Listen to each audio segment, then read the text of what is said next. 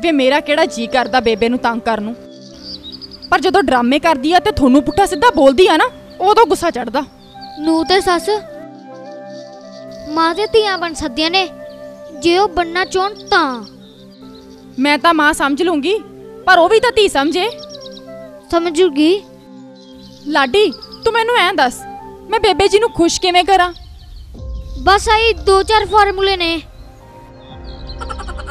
ਸਵੇਰੇ ਮੰਜੇ ਤੇ ਬੈਠੀ ਮਾਸੀ ਨੂੰ ਚਾਹ ਦਾ ਗਲਾਸ, ਬਿੰਦ ਪੈਰੀ ਹੱਥ।